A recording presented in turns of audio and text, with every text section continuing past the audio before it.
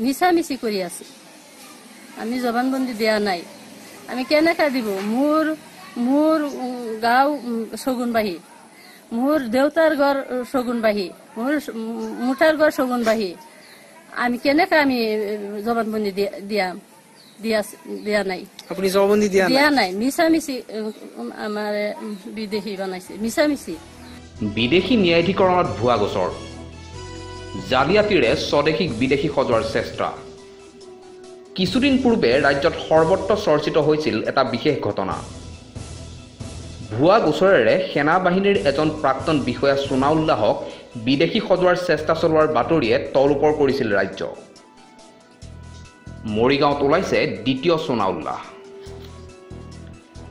মৰিগাঁও জিলাৰ মৈৰাবাৰীৰ ফজিলা খাতুন নামৰ এই মহিলাগৰাকীক ভুৱা গোচৰেৰে বিদেশী সজোৱাৰ চেষ্টা খোদ সীমান্ত আৰক্ষীৰ এজন উপ পৰিদৰ্শকৰ ঊনৈছশ নিৰান্নব্বৈ চনতে মহিলাগৰাকীৰ নামত এক ভুৱা জবানবন্দী বিদেশী ন্যায়াধীকৰণলৈ প্ৰেৰণ কৰিছিল সীমান্ত আৰক্ষীৰ উপ পৰিদৰ্শক অতুল চন্দ্ৰ বৰাই।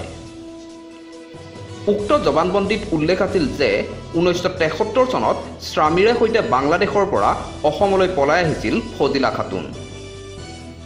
জবানবন্দীখনত চহী আছিল ফজিলা খাতুনৰ। লগতে সাক্ষী হিচাপে চহী কৰিছিল স্থানীয় দুজন শিক্ষক গিয়াছুদ্দিন আৰু আবুল কাছেমে।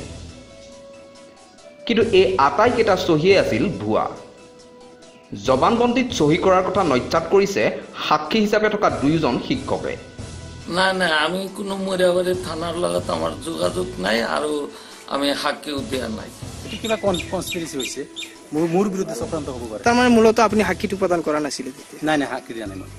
আৰক্ষী বিষয়াজনৰ গোচৰৰ পিছত দুহেজাৰ ওঠৰ চনত মৰিগাঁৱৰ বিদেশী ন্যায়াধীকৰণে বিদেশী হিচাপে ঘোষণা কৰে মহিলাগৰাকীক। মহিলাগৰাকীৰ হাতত আছে তেওঁৰ পিতৃৰ ঊনৈছশ একাৱন্ন চনৰ লিগেচি ডাটা ৰেচন কাৰ্ড আন্তঃৰাষ্ট্ৰীয় পাছপোৰ্ট। কিন্তু ইয়াৰ পিছতো ফজিলা খাতুন এতিয়া সন্দেহযুক্ত বিদেশী।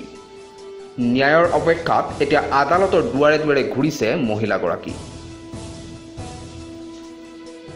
bureau report news twenty four North East